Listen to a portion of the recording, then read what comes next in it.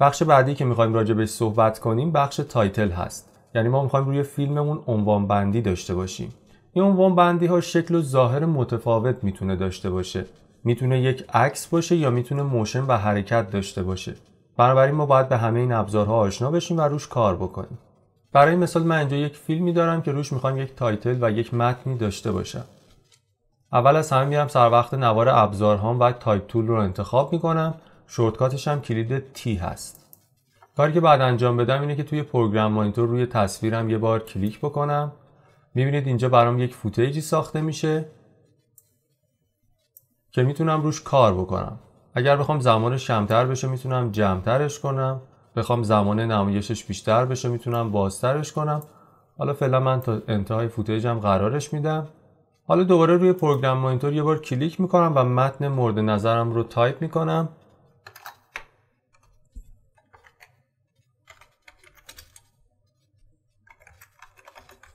خب می‌بینید که متنم رو به صورت حروف جدا جدا و برعکس داره تایپ می‌کنه. برای رفع این مشکل باید بیام توی قسمت edit preferences و وارد قسمت graphics میشیم. توی این پنجره گزینه رو از اروپا تغییر میدیم به خاورمیانه و آسیا. گزینه default paragraph direction رو از left to right تغییر میدیم به right to left بقیه گزینه ها رو هم کاری نداریم و OK رو می‌زنیم. خب من این لایه رو یه بار delete می‌کنم دوباره type tool رو انتخاب می‌کنم کلیک می‌کنم و دوباره متنم رو تایپ می‌کنم. ببینید که این دفعه به درستی تایپ رو انجام داد. خب پس برای تایپ کردن باید این تنظیمات رو انجام بدید به edit preferences و گرافیک میریم. و تغییرات رو به این صورت انجام میدیم. خب من در ادامهش یه چند خط دیگه تایپ می‌کنم. خب من حالا کجا می‌تونم تغییرات اعمال کنم؟ من اگر این لایه‌م select باشه توی timeline وارد پنجره effect control میشم.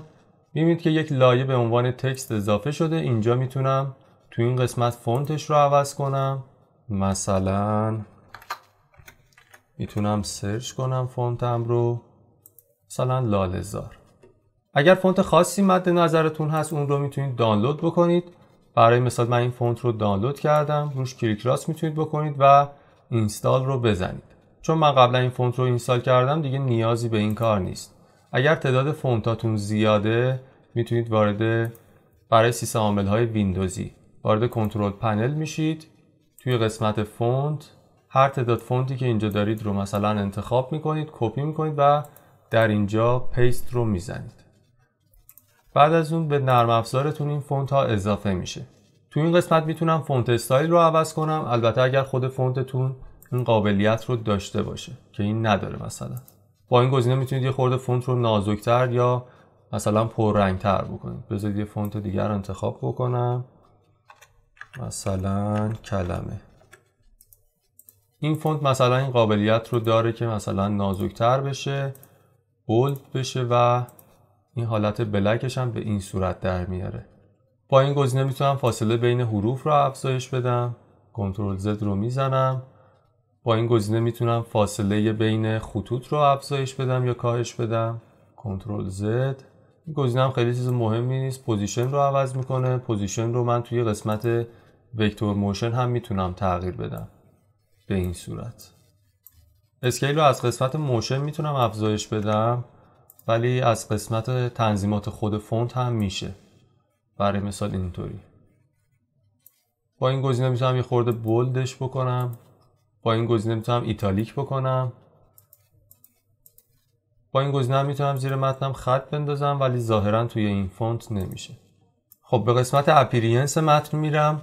با قسمت fill می‌تونم رنگ متنم رو عوض کنم. اینجا مثلا قرمز OK رو که بزنم رنگ متنم عوض میشه. قسمت stroke رو اگر فعال کنم دور متنم رو می‌تونم یک رنگی بدم. مثلا سفید به همین سفید باشه. توی این قسمت هم می‌تونم میزان زخامتش رو افزایش یا کاهش بدم. برای انتخاب رنگم از این سمپلر ها هم می‌تونم استفاده کنم. یعنی این رو انتخاب بکنم بیام روی تصویرم بگم مثلا این رنگ رو انتخاب بکن. یا هر جای نرم افزار ببرم فرقی نمی‌کنه. حتی این زرد اینجا رو هم من می‌تونم انتخاب بکنم. یا رنگ آبی این فوتیج رو می‌تونم انتخاب بکنم. خب گزینه بعدی که دارم background هست. اگر فعالش کنم می‌بینید که یک background برای متنم میندازه. با این گزینه می‌تونم transparency ش رو افزایش بدم یا کاهش بدم به این صورت. با گزینه پایینی هم سایزش رو می‌تونم تغییر بدم. گزینه بعدی که داریم shadow ه برای استفاده ازش باید background م رو خاموش کنم تا دیده بشه. من می‌تونم جای این سایه رو عوض کنم به این صورت. رنگش رو مثلا می‌تونم تغییر بدم مثلا سفید می‌کنم. حالا background م می‌تونم بذارم. خب توی تنظیماتش می‌تونم همونطوری transparency ش رو افزایش و کاهش بدم. زاویهش رو از اینجا می‌تونم تغییر بدم. میگم که مثلا اینجا باشه. تو این قسمت هم که سایزش رو می‌تونم افزایش و کاهش بدم. با این گزینه هم می‌تونم بهش blur بدم. یعنی اینکه یه خورده اینجوری محوتر باشه تارتر باشه. من فعلا این گزینه shadow background رو خاموش می‌کنم. stroke ش هم فعلا خاموش می‌کنم. خب من فعلا قسمت text رو به این صورت جمع می‌کنم. خب همونطور که قبلا یاد گرفتیم ما تو قسمت opacity می‌تونیم keyframe بدیم که title مون به آرومی ظاهر بشه. برای انجام این کار من مثلا cursor رو اینجا قرار میدم. تاگل اوپاسیتی رو روشن می‌کنم. می‌خوام در ابتدا میزانش صفر باشه. کیفریم رو می‌کشم ابتدای پلانم. می‌خوام به اینجاها که رسید میزانش بشه 100 درصد. حالا با هم دیگه ببینیم. می‌خوام یه خورده آرومتر این اتفاق بیفته پس اون رو بیشتر می‌کشم. footage م هم تا بعد تصویرم تا اینجا هم می‌کشم. دوباره با هم ببینیم.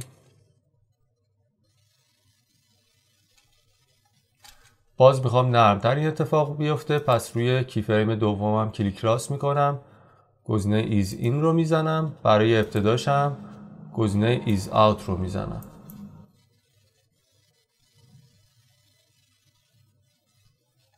خب نکته ای که هست وقتی من می‌خوام تغییری روی کل متنم ایجاد کنم به این صورت می‌تونم روش کلیک بکنم. با موس می‌تونم کلش رو انتخاب بکنم. یا با زدن کلیت های کنترل A می‌تونم کل متن رو انتخاب کنم. که تو حالت انتخاب بگیره بعد از اون می‌تونم تغییرات رو روی متنم اعمال کنم. در غیر این صورت من اگر توی متنم تغییری بدم می‌بینید که هیچ اتفاقی نمیافته. باید کل متنم انتخاب باشه. این نکته که وجود داره. روی متنم هم که کلیک می‌کنم خودش به صورت اتومات میره type tool رو انتخاب می‌کنه. خب پس این شد یکی از راههایی که بتونیم یک title رو به صورت ثابت به تصویرمون اضافه کنیم. کار دیگه ای که می‌تونیم بکنیم اینه که شاید من بخوام به تدریج این title م تغییر scale پیدا کنه و بزرگتر بشه. پس به پنجره effect control م برمیگردم این قسمت text رو minimize ش می‌کنم. تو قسمت vector motion من می‌تونم position و scale رو تغییر بدم rotation براش ایجاد بکنم. یه جای دیگه هم می‌تونم این کار رو انجام بدم تو قسمت motion هست که مربوط به ویدیومه. یعنی این قسمت. حالا کاری که من می‌تونم بکنم اینه که cursor رو ابتدا قرار بدم. یه نکته هم همینجا بهتون بگم. شما با کلیدهای arrow key می‌تونید بیاید ابتدا یا انتهای پلانتون. ولی من الان ابتدا رو می‌زنم نمیاد. میره ابتدای پلان پایینی برای اینکه بیاد ابتدای پلان بالاییم می‌تونم اینجا گزینه تاگل این ترک رو فعال کنم. حالا با کلیدهای اروکی می‌تونم ابتدا و انتهای دوتا پلانم رو برم. خب میام ابتدای این پلان. تاگل اسکیل رو روشن می‌کنم. می‌خوام در ابتدا مقدارش مثلا 50 باشه. و وقتی متنم کاملا ظاهر میشه می‌خوام برسه به 120 درصد. حالا دقیقا چجوری می‌تونم این کار رو انجام بدم؟ میام تو قسمت اوپاسیتی گزینه گو تو نکست کی فریم رو می‌زنم. کسر میره به جایی که اوپاسیتی متنم 100 درصد شده. حالا من اینجا هم برای اسکیل می‌تونم یک کی فریم ایجاد بکنم. و بگم میزانش بشه 120 حالا نتیجه رو با هم ببینیم. یه همچین حالتی که حالا می‌تونم keyframe دوم این هم ease in کنم. اگر هم احساس کردید که دیگه خیلی زمانش زیاد شده می‌تونید به صورت تکی یا دوتایی انتخابشون کنید. یه خورده keyframe ها رو به همدیگه نزدیک کنید. به این صورت. در کنار اینا کار دیگه هم می‌تونم انجام بدم. برای مثال position. مثلا من toggle position رو روشن می‌کنم. میگم در ابتدا اصلا تو بیرون از کادر باش و این keyframe رو ابتدای پلان قرار میدم. میگم موقعی که رسیدی به keyframe دوم scale یعنی اینجا تو reset شو. یعنی دوباره دقیقا بیا جای قبلیت قرار بگیر. و این هم به این صورت میشه. خب اینجا می‌تونم rotation رو هم فعال بکنم که میگم 360 درجه تو بچرخ که خودشون رو یک دور کامل در نظر می‌گیره. این keyframe رو در ابتدای پلان قرار میدم. میگم جایی که مثلا opacity م 100 میشه یعنی keyframe دومش تو reset شو به حالت اولیت برگرد. حالا play می‌کنم. خب به این ترتیب ما تونستیم با type tool یک فایل گرافیکی بسازیم.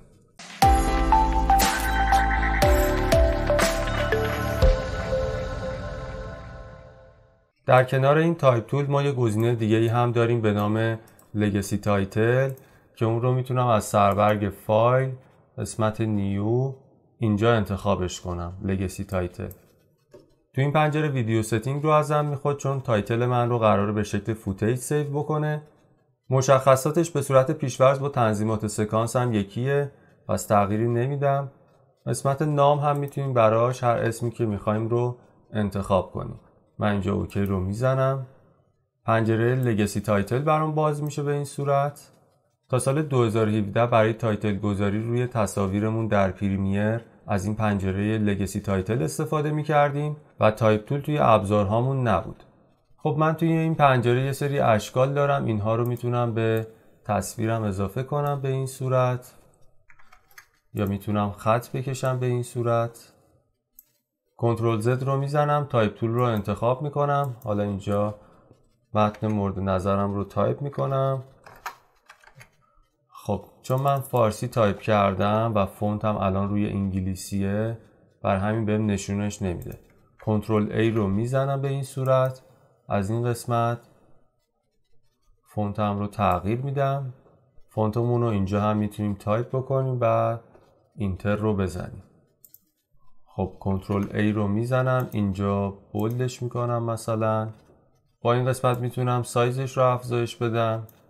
با این دوتا گزینه که اینجا وجود داره می‌تونم متنم رو دقیقا در مرکز تصویرم قرار بدم. و خیالم راحت بشه که از چپ و راست و بالا و پایین به یک اندازه فاصله داره. با این گزینه‌ای که پایین وجود داره می‌تونم استایل نوشتم رو عوض کنم. برای مثال این رو می‌تونم انتخاب بکنم. البته بیشتر روی فونت های انگلیسی جواب میده. خب بذارید من متنم رو انگلیسی کنم.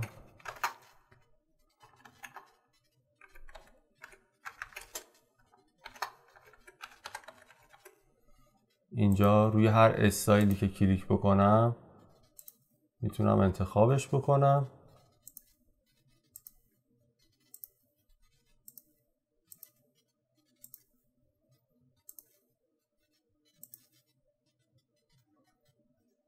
یه همچین شکلهایی می‌تونیم انتخاب بکنیم که می‌تونه برامون بعضیش کاربردی باشه. برای مثال همچین استایلی توی قسمت کالر اینجا می‌تونم رنگ هاشم عوض کنم. مثلا بگم سبز باشه این قسمتش و روی این قسمت هم. مثلا به این صورت باشه. تو این جدول بغل می‌تونم اپاسیتی متنم رو کم یا زیاد بکنم. پوزیشنش رو می‌تونم تغییر بدم به این صورت. ولی خب من می‌خوام در مرکز باشه پس این دوتا گزینه رو دوباره می‌زنم. با این دوتا گزینه هم می‌تونم متنم رو در عرض یا طول بکشم. rotation هم که متنم رو به این صورت میچرخونه. تو قسمت font family می‌تونم فونتم رو عوض بکنم. استایلش رو می‌تونم عوض بکنم که همین یه مورد رو فقط داره. سایزش رو می‌تونم به این صورت تغییر بدم. aspect ش بقیه گزینه هم به همین صورت مثلا tracking اینجوری کلمات رو جمع می‌کنه و به این صورت می‌تونم بازشون بکنم. با این گزینه مثلا یه حالت italic می‌تونم بکنم یا حالا برعکس فرقی نمی‌کنه. control Z رو می‌زنم. خب حالا اگر این پنجره رو ببندم می‌بینید فایلی که ساختیم توی timeline نمیاد و توی panel project مون قرار می‌گیره. فرقش هم با ابزار type tool همینه. یعنی ما وقتی ابزار type tool رو انتخاب می‌کنیم و روی program monitor کلیک می‌کنیم توی همون لحظه footage ش رو توی timeline برامون می‌سازه. خب من control Z می‌زنم. حالا این footage م رو داخل timeline م می‌کشم به این صورت. یه فرق دیگه ای که legacy title با type tool داره اینه که متنی که من با type tool ساختم قسمت graphic داره vector motion داره. ولی متنی که با title ساختم این گزینه رو نداره. و خب این قسمت graphic و vector motion ی که با ابزار type tool می‌سازیم یه سری امکانات داره که legacy title نداره. خب روی legacy title اگر double click کنم می‌بینید که پنجره مربوط به legacy title برام باز میشه و اینجا می‌تونم تغییراتم رو روش اعمال کنم. یه پنل دیگه هم دارم مربوط به title ها که اسمش essential graphic ه برای اووردنش من وارد workspace graphic میشم. می‌بینید اینجا پنجره یا panel essential graphic رو بهم میده. اگر اون رو به هر دلیل نداشتید وارد سربرگ window بشید و پنجره essential graphic رو از اینجا فعال کنید. خب من یه تصویر دیگر به timeline هم می‌کشم به این صورت. تو قسمت browse essential graphic من یه سری template آماده دارم. که اونها رو می‌تونم روی متنم استفاده کنم. مثلا این رو به این صورت می‌کشم وارد timeline می‌کنم. اینجا یک اخطاری بهم میده که میگه نمی‌تونم به Adobe connect شم و فونت رو پیدا نمی‌کنم. مشکلی نداره OK رو می‌زنیم. تو این پنجره هم میگه این فونت رو پیدا نمی‌کنم. مشکلی باز نداره ما OK رو می‌زنیم. خب حالا وقتی footage متنم رو select می‌کنم خودش میره تو سربرگ edit خب اینجا متنم رو دارم اگر روش double click بکنم می‌بینید که این قسمت select میشه و متن مورد نظر خودم رو می‌تونم تایپ کنم. دقیقا همون تنظیماتی که توی پنجره effect control یا legacy title وجود داشت توی essential graphic هم وجود داره. می‌تونم این رو وسط چین کنم متنم رو جاش رو تغییر بدم position ش رو سایزش رو کوچیک و بزرگ بکنم opacity ش رو کم و زیاد بکنم. تو این قسمت فونتش رو می‌تونم عوض بکنم. راست چین چپ چین و وسط چین بکنم و دقیقا همون گزینه هایی که توی افکت کنترل هم وجود داشت. افکت گاسیان بلر افکتی هستش که روی این تمپلیت آمادم وجود داره. تو قسمت شیپ هم می‌تونم این مستطیلی که دور متنم وجود داره رو تغییر بدم. مثلا به این صورت بزرگ یا کوچیکش بکنم. اینجا می‌تونم استروکش رو عوض بکنم رنگش رو عوض بکنم یا هر تغییر دیگه. اینجا هم دوباره یک متن دارم به اسم اپیزود. می‌تونم double click کنم و عوضش کنم. و نتیجه نهایی به این صورت میشه. template ها به صورت پیش‌فرض خودشون دارای motion و حرکت هستن. برای مثال من اگر این footage رو پاک بکنم و تو قسمت browse یه دونه دیگر رو انتخاب بکنم. مثلا این میکشمش داخل timeline. اینجا هم OK. شکل این template رو با هم دیگه ببینیم. می‌بینید خودشون دارای جلوه های گرافیکی و motion هستن که ما می‌تونیم متن مورد نظر خودمون رو تو قسمت edit بهشون اضافه بکنیم. خب من این template رو delete می‌کنم به browse برمیگردم.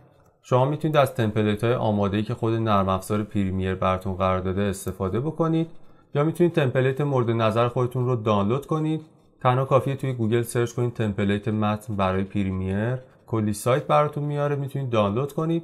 بعد از اینکه دانلود رو انجام دادید اینجا روی گزینه install motion graphics template کلیک می‌کنید. به محل ذخیره فایلتون میرید. مثلا من این template رو دانلود کردم که تایپش MOGRT هست. یعنی motion graphics template select ش می‌کنم و open رو می‌زنم. معمولا template ها به انتهای همین پنجره اضافه میشن. مثل همین template ی که الان اضافه کردیم. ولی اگر اینجا نبودن توی قسمت search اسمشون رو تایپ می‌کنیم و جستجو می‌کنیم. خب من اون رو به timeline هم می‌کشم. این template همچین شکلی داره.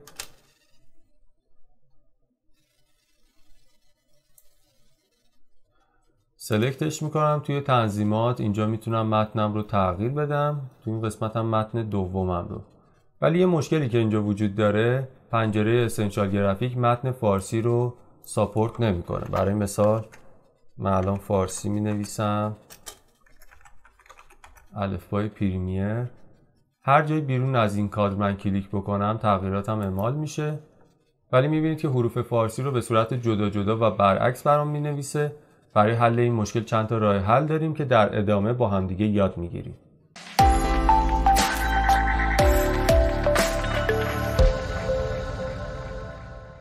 برای فارسی نوشتن توی پنل Essential Graphics چند تا راه داریم. یکیش اینه که وارد مرورگرمون بشیم. تایپ کنیم مثلا فارسی نویسی آنلاین در Premiere. یه سری سایت ها برای انجام این کار برام میاره. من لینک اولی که سایت Timecode هست باز می‌کنم. متن خودم رو اینجا وارد می‌کنم. روی این گزینه فارسی سازی کلیک می‌کنم و برای کپی کردن متن این گزینه رو می‌زنم. خب کپی شد برمیگردم به Premiere. این متنم رو پاک می‌کنم و اینجا از shortcut control V استفاده می‌کنم که برای paste هست یا می‌تونم اینجا کلیک راست کنم و paste رو بزنم. حالا جای خارج از کادر کلیک می‌کنم. می‌بینید که این مشکل برطرف شد. برای متن دوم هم, هم می‌تونم مثلا تایپ بکنم. مدرسه آنلاین فارسی سازی رو می‌زنم کپی متن در حافظه رو می‌زنم به Premiere برمیگردم و متنم رو اینجا paste می‌کنم.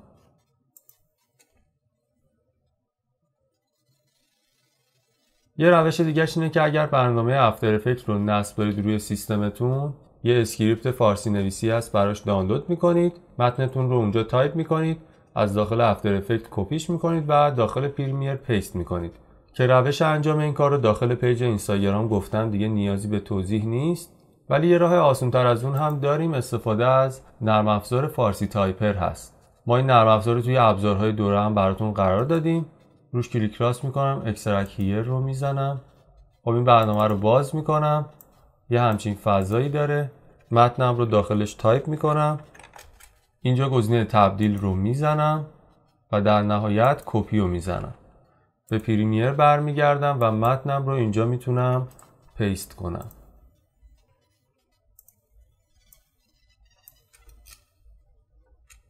به همین راحتی. خب برای اینکه به متن قبلیم برگردم control Z رو می‌زنم. shortcut type tool هم کلید T هست. خب این بود مبحث title که به طور کامل توی سه تا پنل Effect Controls، Legacy Title و Essential Graphics با همدیگه یاد گرفتیم.